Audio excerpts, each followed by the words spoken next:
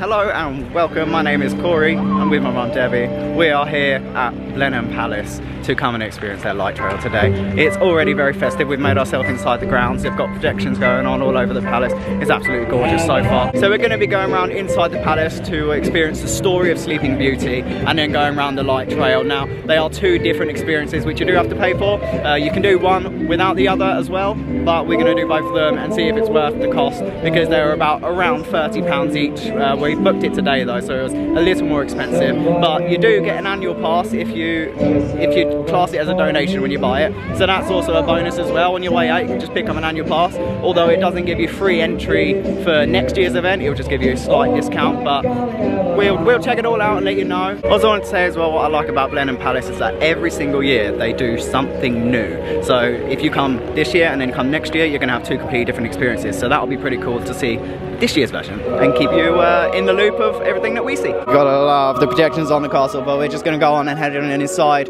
Uh, this is where the entrance is to the Sleeping Beauty experience. Pretty.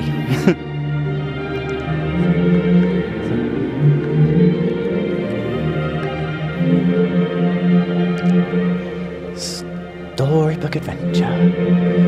The history. It's all very eerie in here. I'm gonna give you a heart attack. Okay, yeah, so it's uh, quite quiet in here at the minute, but this is what we're kind of seeing for the Sleeping Beauty walkthrough. It's also Christmassy, very quiet. You can just hear the echoes. but I'm sure as time goes on, it will all pick up a lot more and get a lot busier. But so far, I mean, we've come, like I said, a little bit late on, to be fair. I mean, we're here seven o'clock and it's really quite quiet. And it's a Saturday as well so it's quite surprising. But I'm not complaining. Perfect photo opportunities. In the story of Sleeping Beauty you of course have the wicked fairy Carabosse so you've definitely got this whole kind of themed area. Definitely worked hard here. And then you've got all the artwork over in this room as well so it's definitely a lot to see. I can just see straight down the bottom there. Look how amazing that looks. As I said, it's all very quiet in here, so I mean, it's a walk-through attraction, so I suppose it just depends on how fast you walk compared to other people or how slow. So you could end up just being quite fluent and just go through without encountering anyone. So that's pretty cool though. For a second then, I thought someone was sleeping on the job. Is it too much to ask that my house gets decorated like this every year? I know, look at it, look. It's a gingerbread man. oh, Christmas. They've got these fun little activities over here as well. So uh, if you've got children, or even to be, or even a mother that likes to uh, find the mice, you can go and uh, spot the mice or the sleeping animals in the rooms so they're just hiding around. And you're very interested in it. I'm trying to move on to a, trying to move on to another room, and suddenly it's like, oh no, I'm still trying to find the mice. There's a sleeping animal. So yeah, they're just all kind of scattered about. So it gives you something to do as well whilst you're looking around at the lights and all of the pretty decorations.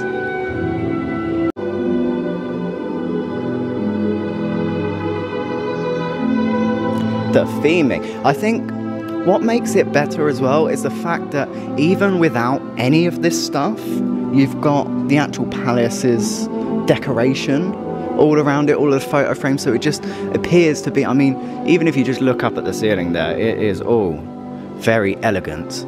So even without any of this decoration, it's already extremely beautiful and elegant, so it just makes it seem like you've got double the amount of elegance. But it really is something to behold. And there's Sleeping Beauty herself. Well, I think this one's up to me, Mum. it's got to be Prince Charming, right? Where is As I said, the history here is just. sometimes I find myself looking away from the Christmas stuff to uh, to see everything that's behind it. Definitely an interesting, definitely interesting. We've just noticed that they also have a live actor over there, Princess Aurora. It's either that or someone's come in a dress and just going around taking pictures of people. but yes, they've got a live actor in here as well, so you can grab yourself a picture with Princess Aurora. It's very high class. I feel very out of place. they have the projections on the inside as well, so that's pretty cool. Empty bed.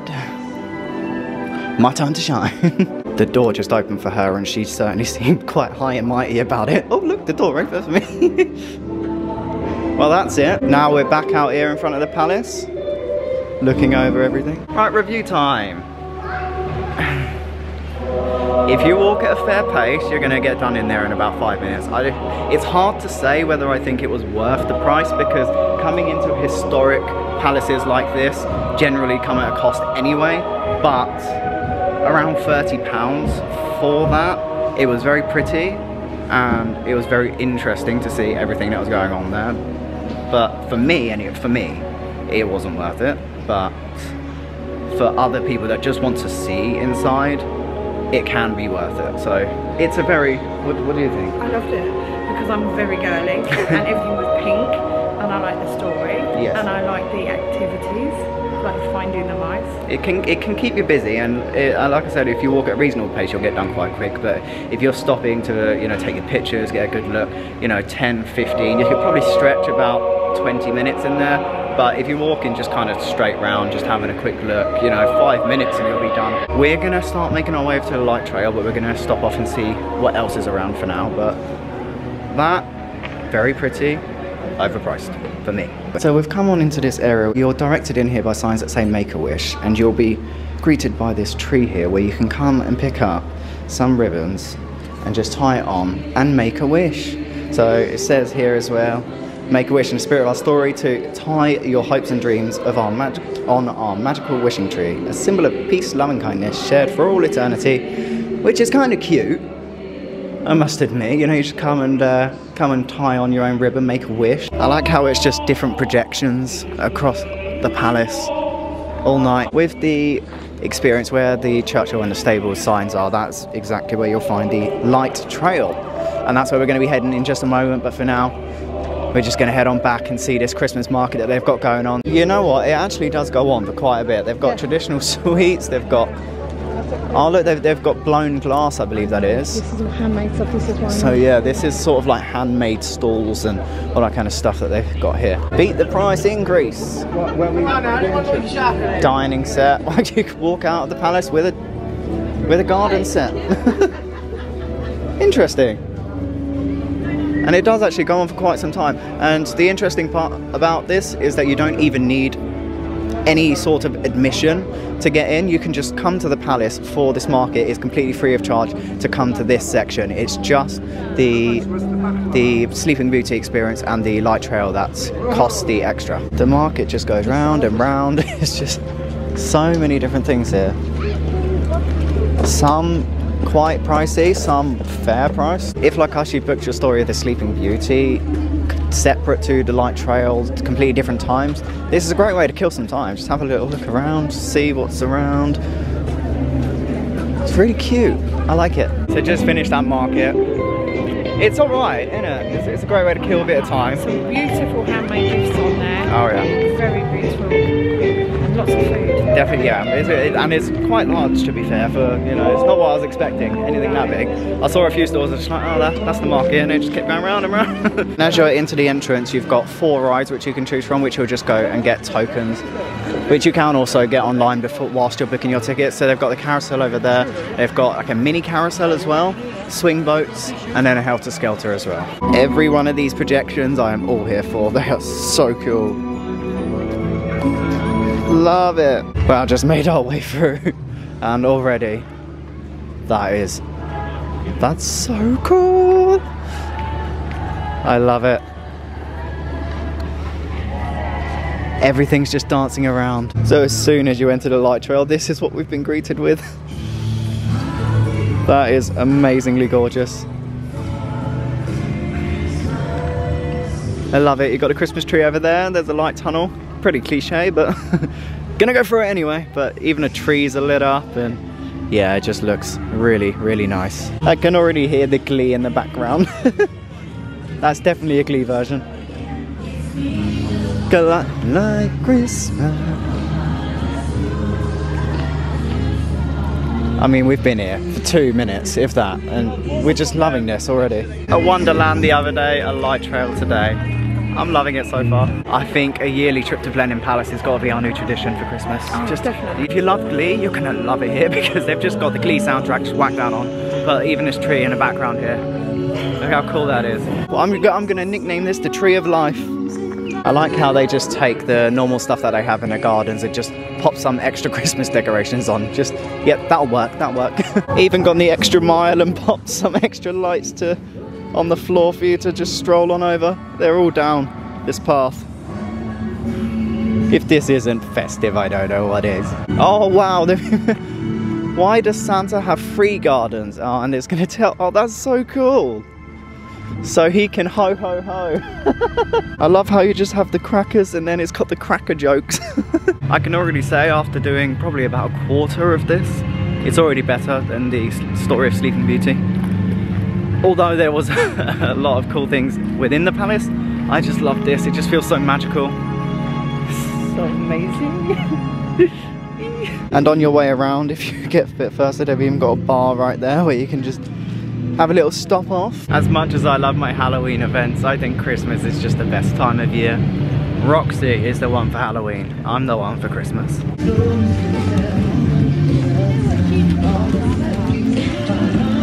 So much going on. Honestly, I think this is a great place to come as a family because, or even just, you know, as me and my mum are here, you know, as adults. You know, it's just a great place for that could just, it just fills you with wonder and it's just enjoyable. Something as simple as lights.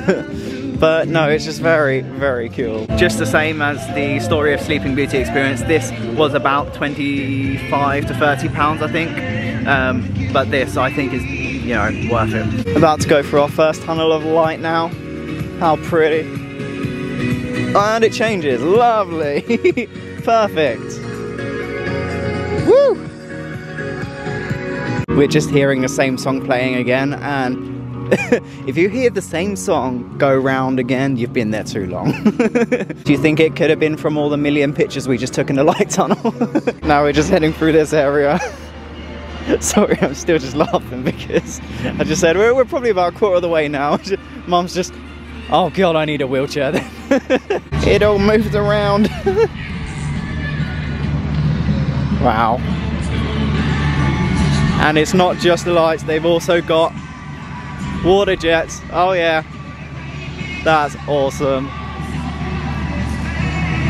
Wow, look at that going on back there. So I'd actually say this is probably around the halfway point because they do have some food and drink options here whilst you can look at the the water show going off there. It's not uh, like a set show for with different times where they'll have different shows, but it's just constant. So there's you can always come and have a look. And it's just so cool. Wow. That's so cool.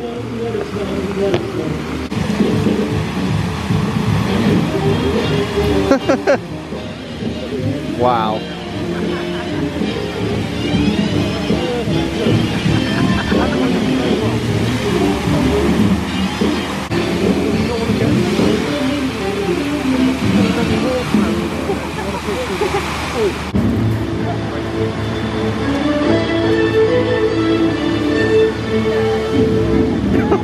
Wow.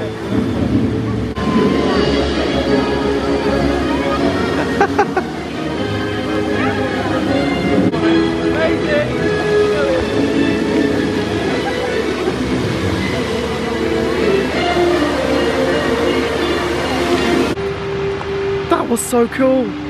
It was so brilliant. We, we, we just kept standing there going, wow. we just got so much footage of that because we just couldn't move on. That was just, I didn't expect that for, for like from this light trail to be honest. You've won us over. You've won us over. And if you think all the water display's over, think again because right next to where they've got the fountains just there, they've also got this gorgeous waterfall. Gorgeous!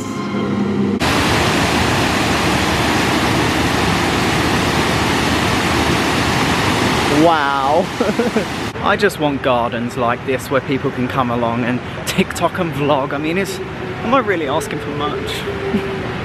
I mean, I like this kind of how it kind of skims around the lake because there's a great big lake here, but I feel like it's a bit of a missed opportunity to get just lights all around and just really make the entire thing light up. Such a missed opportunity that, but everything else is looking awesome.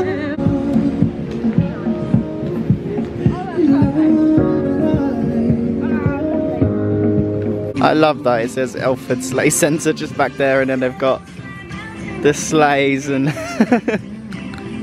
I love it. Oh, and even projections on the floor. I love how they're making use of the projections, the water cannons, the lights. It's, it's just, and you're just immersed in it all. Aww. now all the candles in the sky. I mean, I'm loving the length of it. It's it's really long. You're not. you hate me for this. she wanted a wheelchair about three miles ago, to be honest. oh wow, it's just it's very very immersive.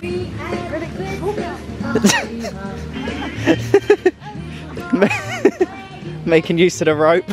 With all the walking and the types of terrain that you'll be going on, make sure you wear suitable footwear. Yeah, wish I would have told you that before. oh, it looks like there's a bunch of Santa's letters on the tree. No, of course I didn't write to Santa. yep, Santa's letter.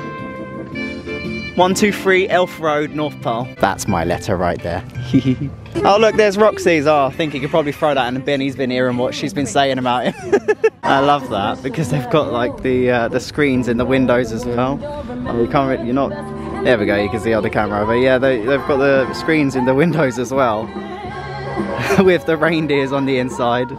I love that. And then they've got all the letters coming in off of the Santa Mail sleigh, straight on in. Oh my god. they just got them dancing in the window now. That post office was such a cool feature. we, we just love that.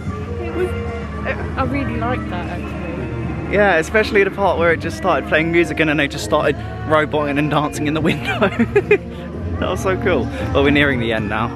Wow, wow, wow, wow. The entire time we've just been getting in everyone's way during their photo opportunities.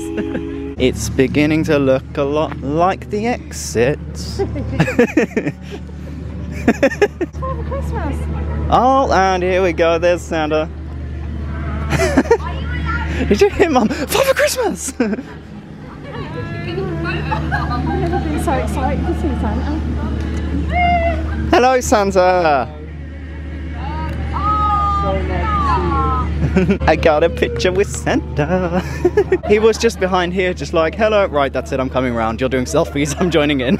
I can just see it snowing. It's pretty hard to see on the camera, but they've got they've got uh, snow a snow machine going on. And it's, oh, there you can see it in, uh, in the light just back there.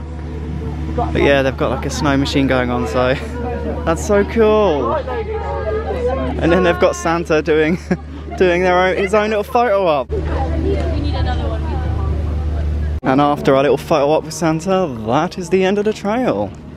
I love it. So yes, be mindful that if you've got one of the later times into the trail, you may come back out and the Christmas market may be closed. So make sure you do all of that stuff before you go in, if you've got one of the later times, or just be prepared that it will be closed for when you come out. Any event that I come out of smiling is an event I'd absolutely recommend doing, and that light trail I would recommend doing. It was very, very long. So make sure you wear the right footwear. But if you're like me and my mum, who likes to take a ton of pictures, you're gonna be in there for, oh, I mean, we were in there, what, an hour and a half? Yeah. So quite a long time. So you're gonna spend quite a long time doing it and I loved every minute of it. It started off, you know, immediately you just got lights everywhere and just like, oh, and then you just get further around and there's just more, you just feel more immersed as the further you get in. The, the story of Sleeping Beauty as much as you know as I said it was beautiful and very it was just it lacked a lot for me to be honest good for kids good for kids good yeah good for a younger audience and to be fair I mean if you've never seen inside the palace it might be worth doing but for the cost it's not worth it. The, cost of the light trail, absolutely worth it. Uh, you know that that's something I would absolutely do again. And with the annual pass that you can get, if you class your ticket cost as a donation, you can come back next year at a slightly reduced price. So that's always a bonus. But yeah, no, I think overall that's been a very good night out. What did you say? I, no, I loved the light trail. It was great. There was a lot of steep hills and going down as well. But you get to see Santa at the end. We met Santa. That was the highlight of mine. and it was brilliant because you know he was just behind his little like in front of his little house and then suddenly he just saw a, a swarm of people taking pictures and he was just like that's it i'm coming out time for selfies so yeah no overall i'd recommend it sleeping beauty mm, not for me I lo- I did like it. yeah but was it worth the money No. In all honesty, no. Um, I don't know what the family ticket prices are, but it's definitely very girly themed, I'd say. Um, which we actually heard other people say as well when, as we were walking in. hmm Uh, but no, I enjoyed it, and I like the little activities where you had to search for the mice and the sleeping animals and things. But quite interactive in there yeah, yeah, it definitely was. So it's definitely keep the kids entertained. But I think the trail is just it's long, but it's just amazing. Yeah. There's just so many things to see. hmm so really enjoyed that. festive Yeah. But yeah, anyway, we're going to be back next year, absolutely. This is our new tradition. but anyway, thank you very much for watching. Don't forget to like, comment, and subscribe, and hit that little notification bell so you stay up to date with all of my future content. Thank you very much. Take care, and I will see you in the next one. Bye.